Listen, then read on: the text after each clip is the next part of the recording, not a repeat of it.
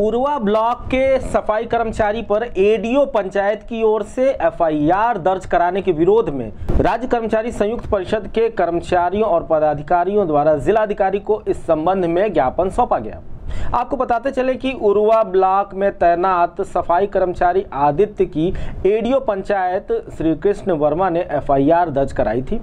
राज्य कर्मचारी संयुक्त परिषद के कर्मचारियों का कहना है कि एफआईआर पूरी तरह से फर्जी है और निराधार है और हमारे साथी को गलत तरीके से फंसाने की कोशिश की जा रही है। जिलाधिकारी को ज्ञापन सौंप कर आए परिषद के मंडल अध्यक्ष अमरनाथ यादव ने गोरखपुर न्यूज़ से बात करते हुए बताया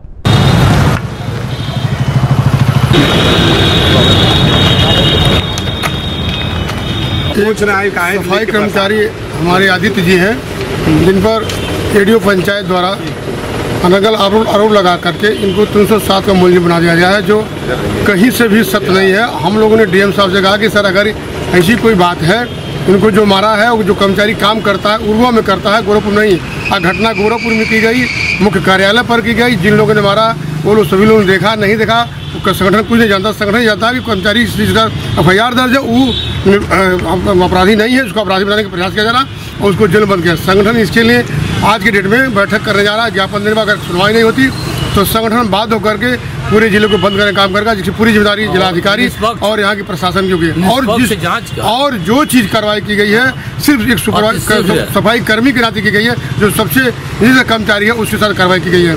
जबकि अगला कर्मचारी पिछली ब्लॉक पे जहाँ तैनात था सत्तर लाख के गमन में था वहाँ भी मारपीट करके आया है। उसका ये ध्येय है कि उसका भाई नेता है उसको दबाया जाए इसलिए कर्मचारी के साथ ये सुनवाई की गई। जय हिंद जय संगठन जिलाधिकारी ने क्या आश्वासन दिया? जिलाधिकारी ने अब सब शब्दों में एसएसपी से आख्या मांगा और कहा कि आप एसएसपी से मिल लीजिए और उन्होंने कहा मैं अभी जाँच कराकर अगर दोषी नहीं है तो उसको बरी कर दूँगा।